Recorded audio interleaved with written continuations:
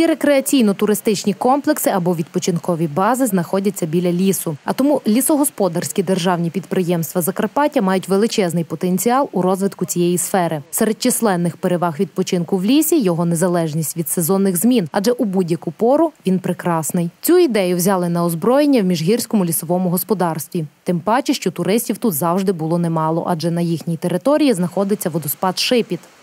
На цій території нами розроблено комплекс е, міроприємств, які потрібно зробити. Вони погоджені як із місцевою владою, так і з е, районною владою. Шепіт активно готується до прийому туристів на території об'єкту. Тривають роботи по його облагородженню.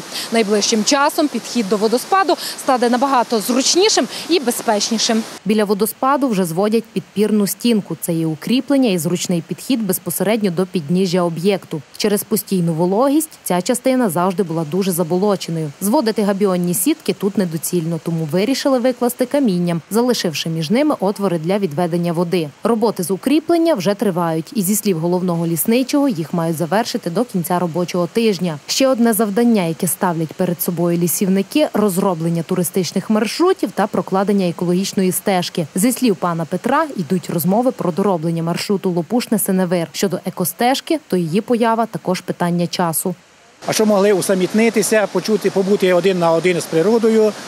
Е, На цій екологічній стежці будуть розміщені показ, показчики, наглядна агітація про е, саме це місце, про той е, рослинний, тваринний, деревний, деревний склад порід, які тут проростають.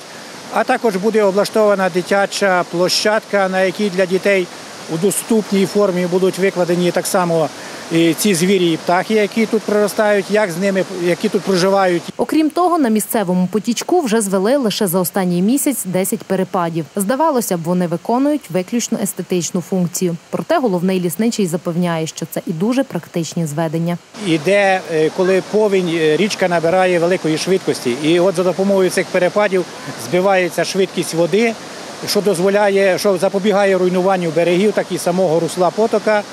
І ну, не для великої реклами нами запущений тут мальок е, струмкової форелі.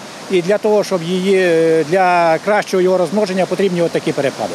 Багато уваги на шипоті присвятили і впорядкуванню стихійної торгівлі. Це явище дуже поширене на таких туристичних об'єктах, і лісівники вирішили відвести продавцям місце і спорудити торгові павільйони. Зараз їх є вісім, проте їхньої кількості недостатньо, а тому невдовзі зведуть ще декілька. Відвели окреме місце і для наметового містечка. При тому, що неподалік славнозвісна фестивальна поляна, відпочити можна буде і недалеко від водоспаду. Все це місце буде огорожено. Бачите, вже є завезений матеріал для, для огорожі.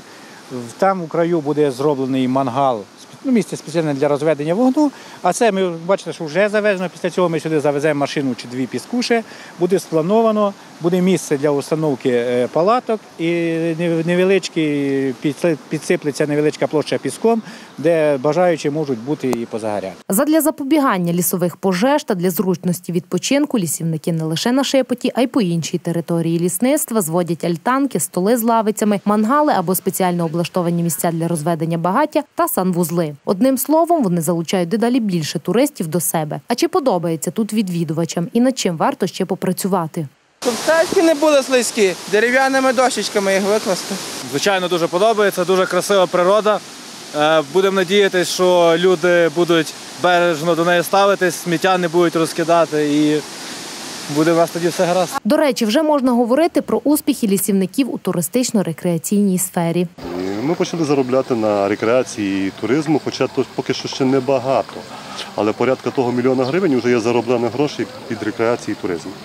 Тобто створені рекреаційні ділянки, де люди мають можливість відпочивати, розпалювати вогнище, е, користуватися деревним ресурсом для, під час відпочинку там і так далі. У перспективі лісівники ще більше орієнтуватимуться на розвиток туристично-рекреаційної галузі. Крім того, у планах реалізація продуктів лісу, різноманітних грибів та ягід.